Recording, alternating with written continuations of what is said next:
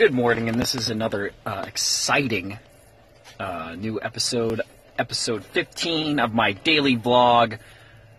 Uh, Alex's day off, uh, a life as me. So I don't know if it's exciting, but it is my life. Uh, I am traveling across the country right now. I just got done with my morning routine. Um, maybe sometime I'll show that. And uh, my day is going to be filled with Minnesota.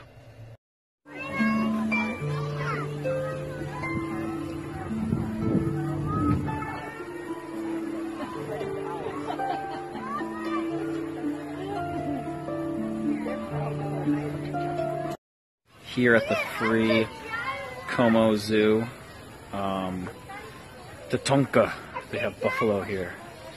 Isn't that pretty cool? I haven't seen a buffalo in a zoo before. So I think this is one of the cooler make your own souvenirs that I've seen. Like I've never seen a rapid molder like molding machine as a souvenir in a souvenir shop. It's pretty cool. Uh, just had a hero and some fries um, for lunch, and I'm gonna go say bye to my friend Sarah in uh, downtown Minneapolis, and then I'm gonna head out. So here in Minnesota, there's a lot of four-way stops. They're kind of everywhere, and it's weird that I've only seen that here. So like, I have a couple of theories. One theory, there was like a board meeting, and they were like, you know what, everyone a board meeting or like a PTA like parent teacher conference or some shit that like everyone was like, you know what, there should be equal stops. Everyone should have to stop. If there's a stop sign for one person, there's a stop sign for everybody. Hey guys, so it's a big uh, driving day here.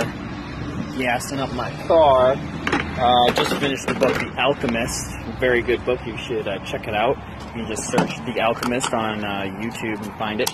Cool didn't actually know if I was in Wisconsin until uh, after I put the location down. But yeah, The Alchemist, you should check it out. Uh, it's on YouTube, The Alchemist audiobook. Um, it's a great book about following your dreams, following your destiny. Guys, so uh, six and a half hours in the car, got through two books. Um, highly recommend. Uh, both The Alchemist and uh, The Seven Spiritual Laws of Success. And